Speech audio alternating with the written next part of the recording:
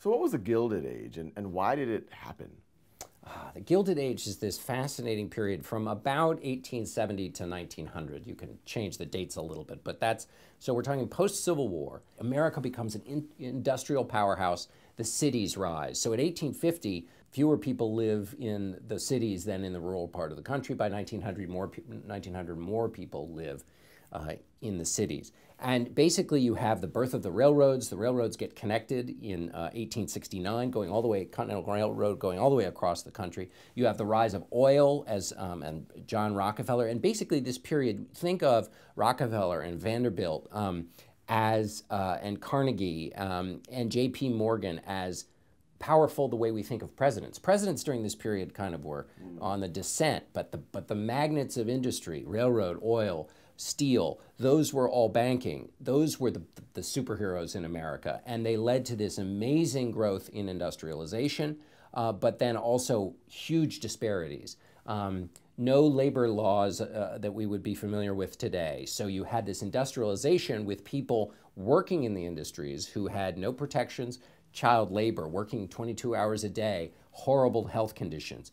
Um, so this gurgling, booming America um, but where there's great disparities between who's doing well and, uh, and who's not. And it was called gilded because those who were doing well were living very well. Right, gilded as in a gilded frame, covered with gold. This came from a novel by, by Mark Twain. Um, and uh, that's right, it takes on the, the cast of this extraordinary wealth. Um, uh, uh, Rockefeller was the first billionaire in America. Um, Vanderbilt built the biggest house, still the biggest house in America during this period.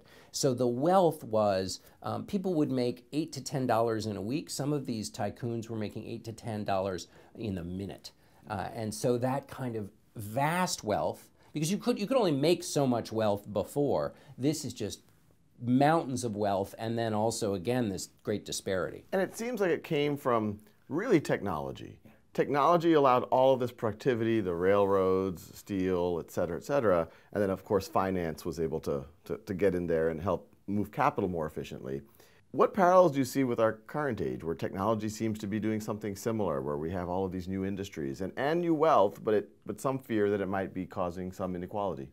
you have you yes you have a couple of things you have um, innovation in these various different industries both innovation in the creation of things but then also innovations in the structures of business buying up small businesses creating big conglomerates then using that leverage and power uh, to then uh, crowd out competitors for sure but then also to raise prices because you're the only game in town um, and you also have business practices that are not um, the sort of the laissez-faire economic uh, belief said essentially that in the economy it was like in, uh, in the American system, which was let it operate. Don't get in the way, don't mess with it, because when it operates, it runs the most efficiently for America. In the end, markets can be messy, but they're going to have the best outcome. That's right. Is what is the argument behind laissez-faire. That's exactly right. And it got this wonderful assist uh, from Charles Darwin, who said we can explain the growth of, or we can explain the species, and we can explain our natural world with this theory about the competition uh, among the species and, and this term survival of the fittest. Mm social Darwinism. So survival of the fittest, which some, and I certainly thought might have come from Darwin, didn't. It came from Herbert Spencer, who basically had an economic theory of survival of the fittest, and it went this way. Some people have more talent than others. And when they exercise their talent, they do very well, and that's the best thing for society. It believed that society was ever increasing. It didn't mean that every single person was increasing, but that if you followed survival of the fittest and the best people did the best, then ultimately society would always be on an evolutionary plane of moving upward. And so that was the theory behind get out of the way of these big uh, companies and these big tycoons, and they will do the best uh, for America. And so the reason that was important was A, it kept government out of the way, B, it kept religious. Um, uh, it, it, created a religion that um, it was a secular religion, of course, but it created a theory that said, wow, that looks like what you're doing is totally self interested, but there's this theory behind it and everybody will improve, so okay, go ahead.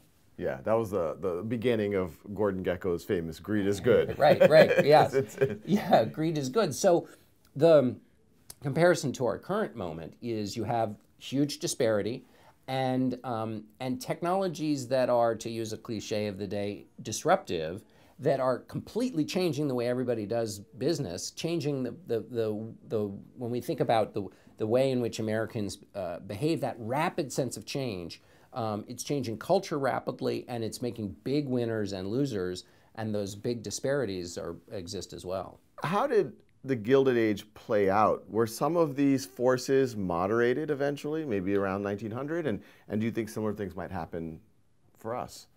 There were two big moderations in the in response to the Gilded Age. You had uh, government came back came awake again, and you had uh, uh, and then you also had labor movements um, that, that came into uh, into formation, basically to slow down the, the the growth and the rapacious demands of the Gilded Age. Politics during the Gilded Age kind of went, um, became an offshoot of uh, the titans of industry. If you look at the presidency between 1876 and 1892, there's, they're all one-term presidents, mm. and none of them get more than 50% of the vote.